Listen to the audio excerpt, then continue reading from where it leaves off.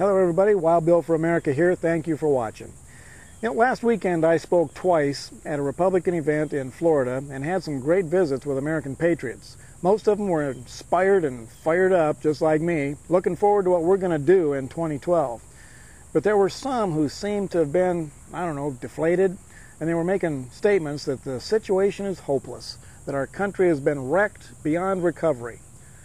Well, I understand their dilemma.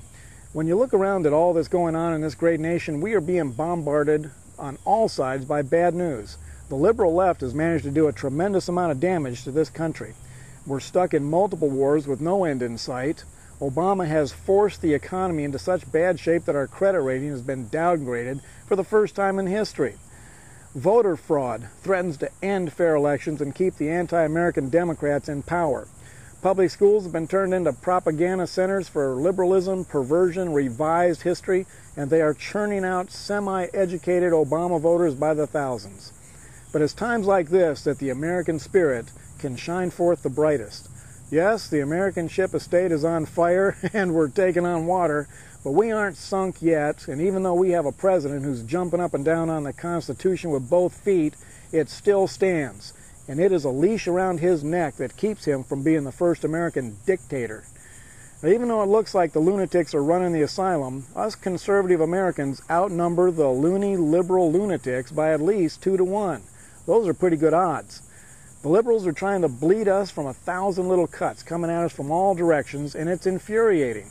But we have two things that the liberal left will never have God and country, the proven formula for American success. This nation was founded upon faith in God and a fervent patriotic enthusiasm.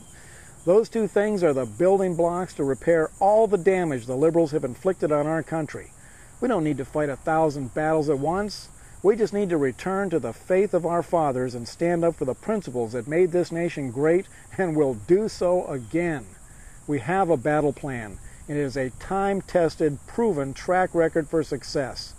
This is what American conservatism and the Tea Party is all about a return to success. So don't drive yourself crazy trying to keep up with a thousand little battles. Just focus on the solution God and country and watch how things fall into place. God and country, the rallying cry for the rebuilding of America. There's a very good reason why liberals have worked so hard to evict God from America and to destroy patriotism and love of country.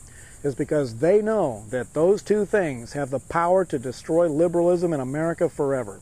Now, for those of you who are feeling overwhelmed and discouraged, surround yourself with people who are fired up and ready to go. And above all else, please resist the temptation to heap defeat upon your fellow Americans just as they're gearing up for the most important political battle of our lifetime.